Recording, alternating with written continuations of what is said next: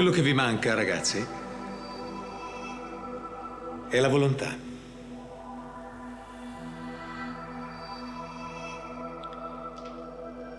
Non il coraggio, ma la volontà. Perché vedete, il coraggio di compiere qualche azione imbecille, quello lo potete anche trovare. Magari per una manciata di secondi, così vi sentite degli eroi. Ma la volontà.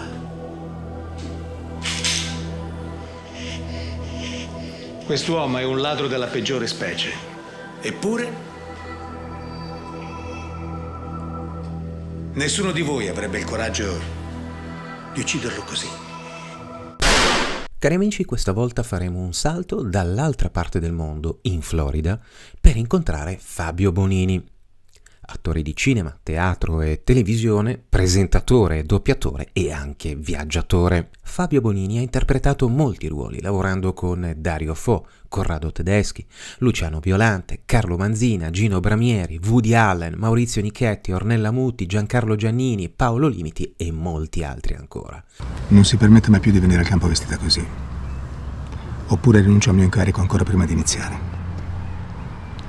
Questo è un campo da calcio e le cose qui si sudano. È apparso in molte produzioni televisive e ha lavorato come doppiatore in un gran numero di spot pubblicitari. È entrato nelle case degli italiani interpretando personaggi di grande popolarità. Lo troviamo ad esempio nella fortunatissima serie Vivere. Questa è la volontà.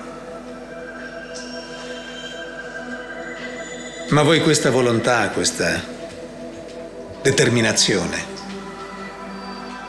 non l'avete.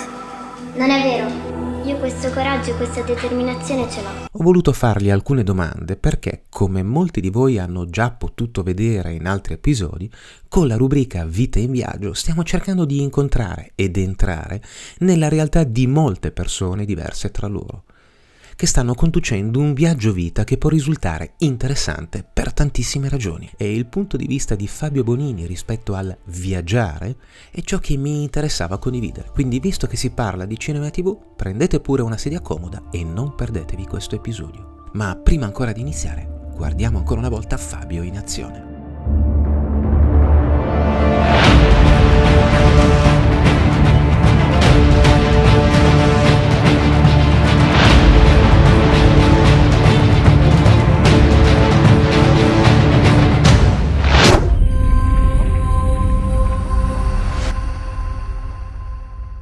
Ciao Fabio, ben trovato, è veramente un piacere averti qui, sono, sono strafelice e sono veramente curioso del tuo contributo e del tuo punto di vista. Ovviamente la tua è una vita in viaggio, non possiamo pensare che non lo sia proprio per quello che hai fatto, le scelte che fai e ovviamente anche ciò che ha comportato no? un po' il tuo mestiere, quello di muoverti spesso. Un lunghissimo curriculum il tuo, tanta tv, tanto cinema e tantissime cose che hai fatto e continui a fare. Un vero viaggio il tuo tra diverse tappe, deviazioni, salite e discese artistiche, tornanti. Ecco, mi piace utilizzare questo linguaggio on the road. Quali similitudini vuoi raccontare tra il viaggio convenzionale e il viaggio vita di Fabio Bonini?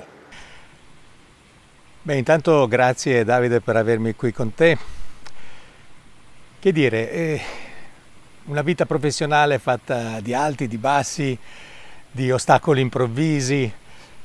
Insomma, il viaggio è un po' la metafora della vita e così anche della, della vita professionale. Io credo che il viaggio sia un'emozione, una sorpresa, a volte anche brutte sorprese, ma sia una cosa meravigliosa. La mia carriera è stata eh, costellata di cose meravigliose, ma anche di, di delusioni, di inciampate eh, dolorose.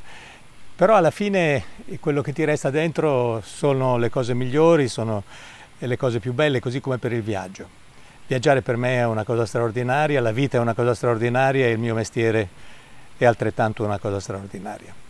Il tuo lavoro ti ha portato sicuramente molto spesso a viaggiare, ma durante questi momenti hai avuto la possibilità di ritagliarti del tempo per entrare più personalmente, intimamente in contatto con i luoghi e le genti, che hai avuto occasione di incrociare? Ebbene sì, il mio lavoro mi ha portato spesso a viaggiare e a incontrare persone. E quando viaggi incontri persone di altre culture, eh, persone che sono cresciute in un contesto completamente diverso dal tuo, oppure persone che hanno molte similitudini con te. Però sono sempre incontri speciali perché da ognuna di queste persone che incontri durante un viaggio assorbi qualcosa, assorbi qualcosa del loro modo di pensare, della loro vita. Eh, ogni volta che viaggio mi guardo intorno e dico quante vite ci sono in questo posto, quante, quante persone che in questo momento si amano, quante persone che in questo momento stanno discutendo, stanno litigando, qualcuno che vende dalla sua bottega o nel suo negozio. Insomma, viaggiando incontri, incontri veramente l'essenza dell'essere umano in tutte le sue sfaccettature. E ovviamente capitano anche incontri speciali, incontri che eh, ti lasciano qualcosa dentro. Ma nel complesso, ancora una volta, dico che quando viaggi il bagaglio di esperienze, il bagaglio eh, di cultura, di incontri eh, che fai è veramente straordinario. Fabio, sono estremamente curioso di conoscere la risposta a questa tua domanda.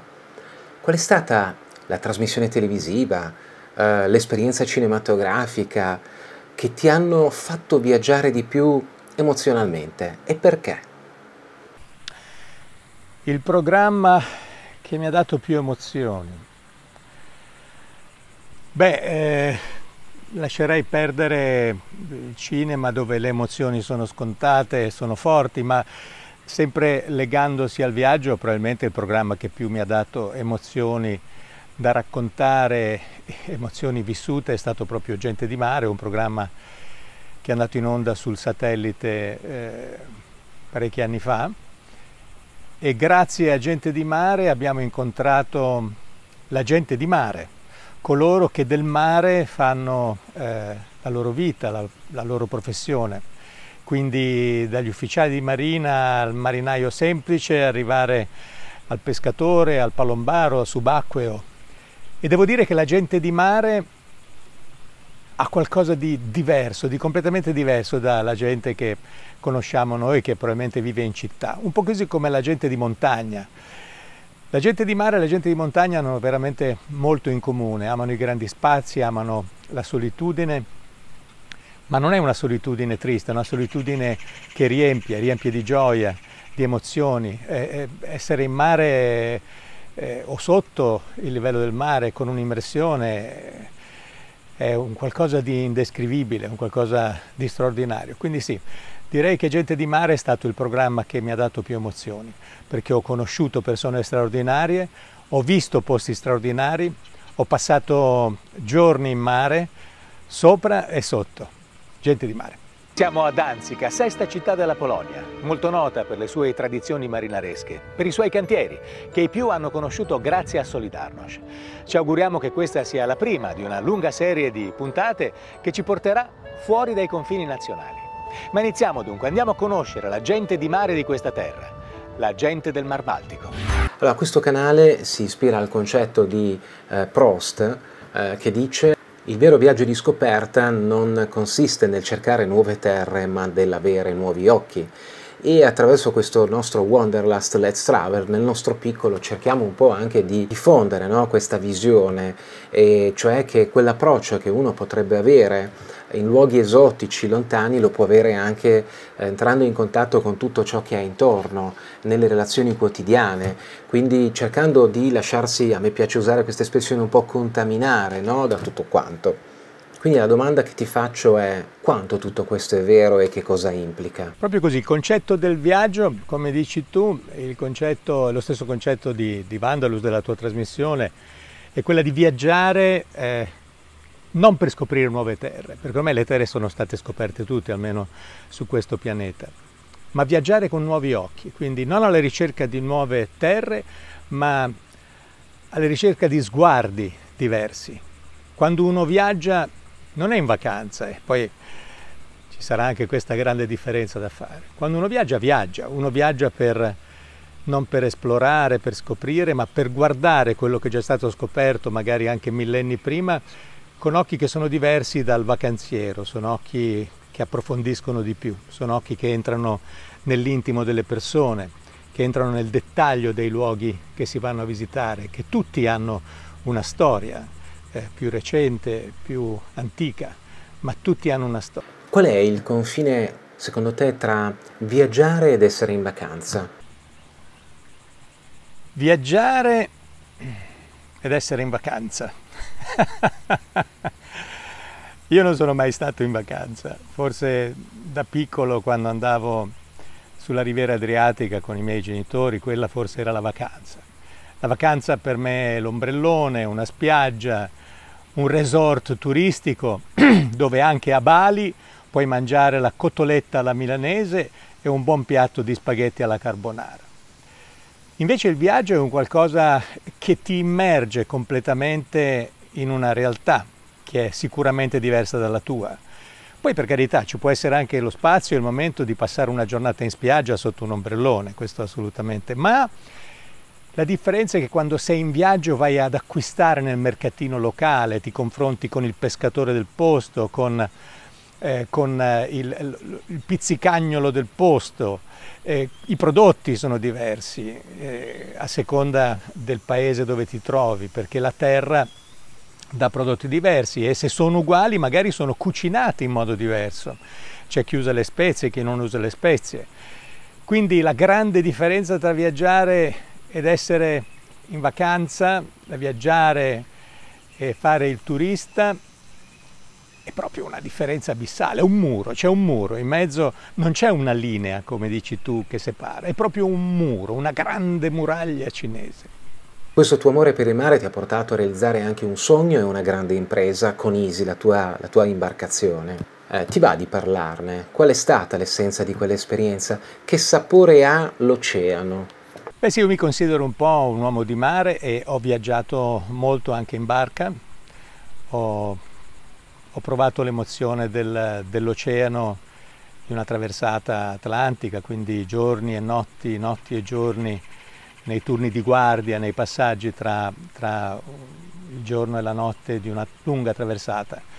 E, e quindi il rapporto con l'oceano è una cosa stupenda, quando sei là in mezzo con questo silenzio che è un silenzio che non è silenzioso, ma è un silenzio nell'animo, una pace interiore che ti permette di guardarti dentro, di scoprire, di scoprire cose di te stesso che neppure con una seduta psicanalitica verrebbero fuori.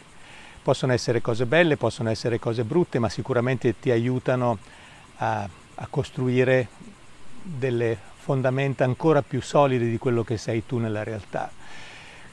E il rapporto col mare per me è fondamentale, ma amo anche la montagna, come dicevo prima, eh, il, chi ama il mare solitamente ama molto anche la montagna perché sono due elementi naturali forti, enormi, imbattibili, invincibili, hanno una potenza, una potenza meravigliosa. Oggigiorno ci sono molte persone, sempre più spesso, che fanno delle scelte drastiche, delle scelte importanti, ribaltare completamente la propria vita, vendere la propria casa, eh, liberarsi di tutto il futile, di tutto l'inutile e viaggiare. Che cosa ne pensi di queste scelte così, così importanti?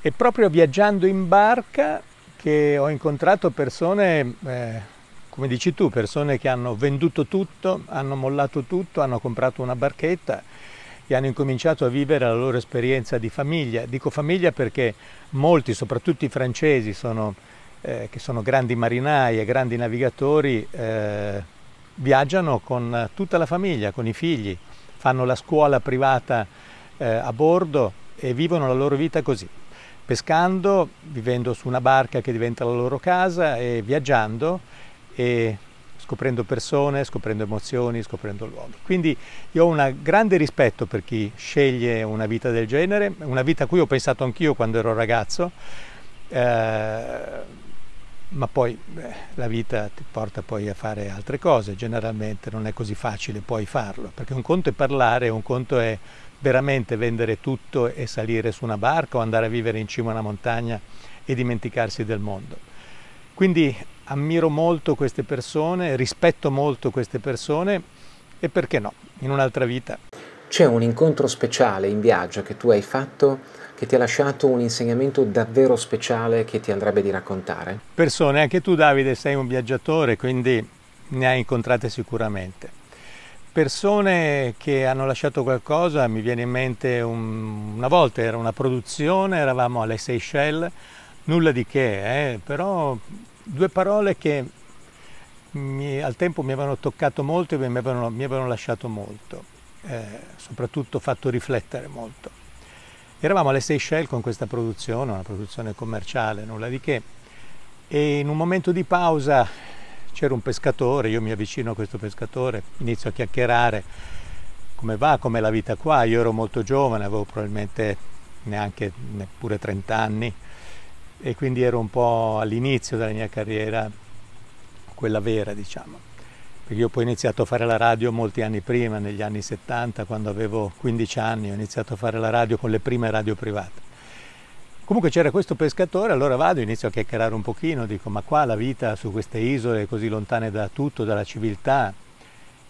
E lui è stato molto semplice, mi ha detto banalmente qua la vita è straordinaria, non ci manca nulla, abbiamo tutto dalla terra, noi ci svegliamo la mattina, andiamo a pescare, portiamo il pescato al mercato, una parte la portiamo a casa per nutrirci, facciamo l'amore con le nostre donne e il giorno dopo torniamo a pescare.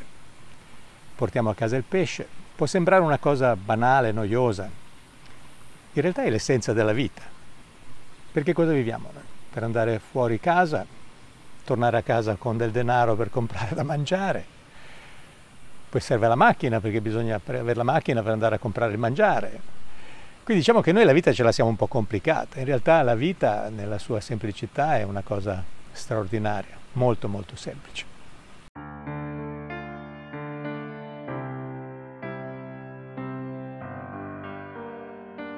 Ci sono storie che nascono da piccoli gesti o semplici intuizioni, senza immaginare quanto possano cambiare il destino e le abitudini degli uomini. Davide, devo ringraziarti per avermi eh, voluto ospite qua con te questo strepitoso eh, canale, questo canale del viaggio, Wunderlust. E, e che dirti, ti invito ufficialmente a venirmi a trovare in Florida, potrei farti da Cicerone, anche qua ci sono luoghi meravigliosi come tutti gli Stati Uniti dove ho deciso di vivere da qualche anno e quindi grazie per avermi avuto qua davvero e spero di averti ospite di persona eh, qua in Florida. Allora grazie Fabio, grazie, grazie davvero, è stato un grande piacere avere questo tuo contributo, chissà, probabilmente ci vedremo proprio a Miami, chi lo sa. Grazie per l'invito e grazie per essere stato ospite, quando vorrai qui c'è sempre spazio. Ciao!